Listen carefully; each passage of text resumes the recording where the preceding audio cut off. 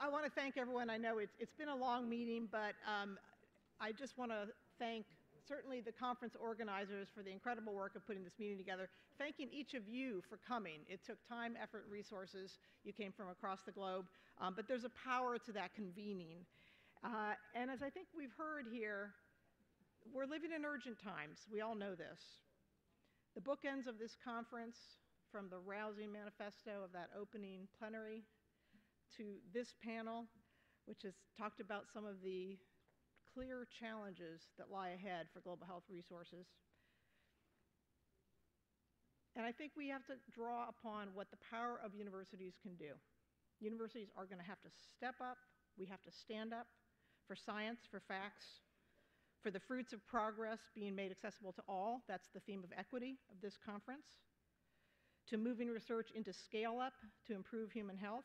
That's the theme of the 2019 conference, which I hope you can all come to.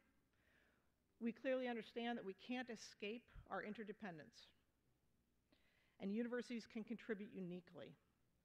So I just want to say uh, CUGH stands ready to support you in your important work. We have a new mission statement, which we'll be rolling out soon as we roll out the strategic plan. I can summarize it for you very briefly, and it very much is congruent with what we've talked about here.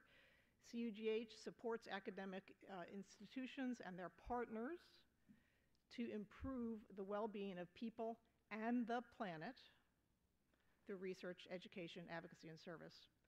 So each of you contribute to that.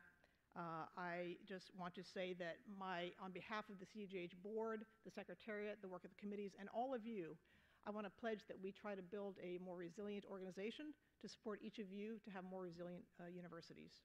So thank you, and go forth and do your good work, and see you in Chicago next year.